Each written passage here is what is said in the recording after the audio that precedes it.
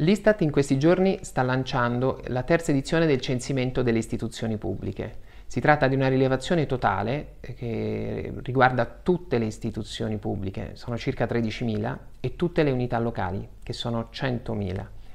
È la terza volta che l'Istat effettua questo censimento, abbiamo raccolto i dati sul 2015 e sul 2017 ed adesso in poi questo censimento sarà triennale.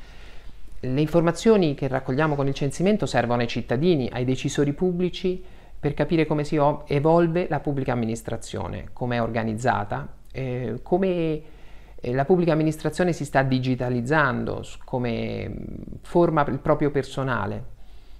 Poi, c'è poi una nuova sezione quest'anno che riguarda l'introduzione dello smart working, del lavoro agile, che tutte le amministrazioni pubbliche sono state costrette ad adottare, che ha rivoluzionato eh, l'organizzazione del lavoro nella pubblica amministrazione.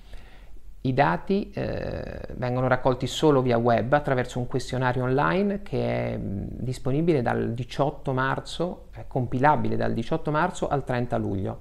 I primi risultati del censimento saranno disponibili a dicembre 2021 ed è importante che i risultati siano disponibili presto perché per avere una pubblica amministrazione migliore, che sia più adeguata ai bisogni del Paese, soprattutto in una fase di difficoltà dovuta alla crisi sanitaria, servono informazioni tempestive, accurate e complete. Ed è per questo che chiediamo a tutte le istituzioni pubbliche di partecipare attivamente al censimento permanente delle istituzioni pubbliche. Grazie per l'attenzione.